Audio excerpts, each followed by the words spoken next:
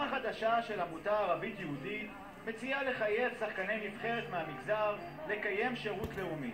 על פניו, הרעיון טוב. אני חושב שאם אנחנו נעביר שאלון לכל השחקנים הערבים, איפה אתם רוצים להיות בסוף, כולם יגידו את התשובה שהם רוצים להגיע לנבחרת ישראל. זו יכולה להיות דרך מעולה להתגבר על שאלת הנאמנות של הכדורגלנים הערבים בנבחרת ישראל בכדורגל למשל, ולקרב אותם עוד יותר אל לבבות האוהדים. השחקן הערבי הוא מייצג את עצמו, מייצג את המגזר הערבי, מייצג את המדינה.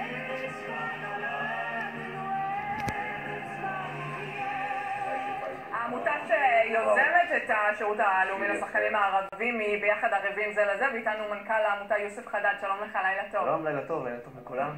אחלה שם לעמותה, תדע לך.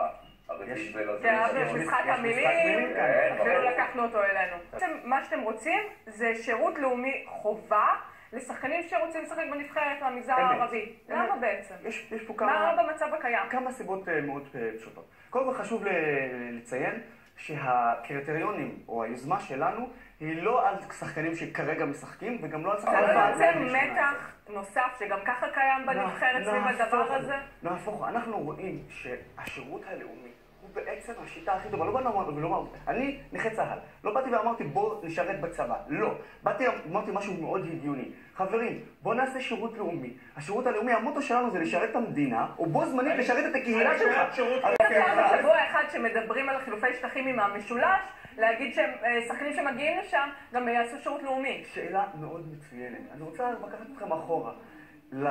מאז שהגיעה עסקת המאה, שכולם דיברו על העברת המשולש, עשו סקר בקרב הציבור הערבי הישראלי.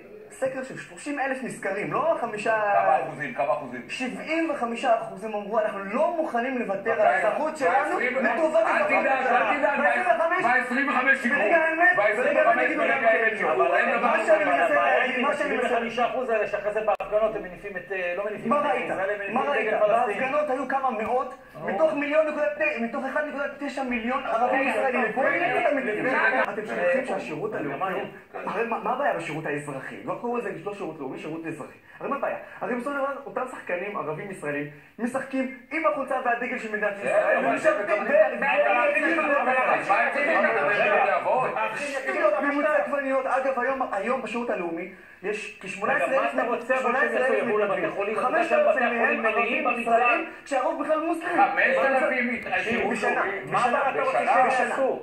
מה כל אתה רוצה שנה. שהם יעשו? אם יש משהו שמוצלח במדינת ישראל, זה הקטע הזה של אני רוצה כדורגל להגיד של ערבים ויהודים, למה לקלקל? למה לת- למה זה- ל- זה- זה- זה- אתה בעיניי זה כאילו ניסיון כאילו... אתה בעצם אומר ההפך, תבין. הרי בסופו של דבר אנחנו רוצים שהחברה הישראלית, הערבית ישראלית, תהיה חלק אינטגרלי מהחברה שלנו, מהחברה הישראלית כולה. הצעד לזה, זה לבוא ולשרת ולהגיד שירתנו את המדינה, עשינו את זה גם בתוך החברה שלנו, בתוך הכפרים, בתוך החברה שלנו. שלנו. תגיד, אתה אוהד מכבי תל אביב, למה אין ערבי במכבי? לא, קודם מכבי. מכביסט, בגוריה, ויש לנו גם מכביסט. עכשיו. די המכביסט, די. יוסף חדד, תודה רבה לך, לילה טוב. לילה טוב, תודה רבה. אביה, תודה.